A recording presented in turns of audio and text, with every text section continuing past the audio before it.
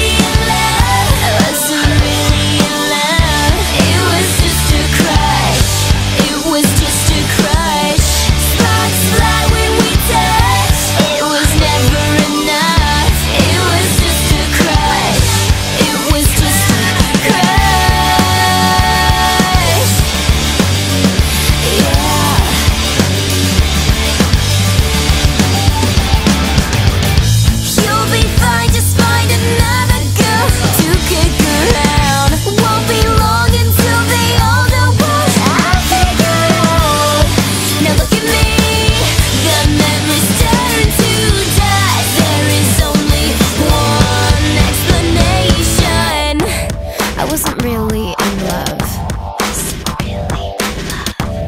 It was just a crush.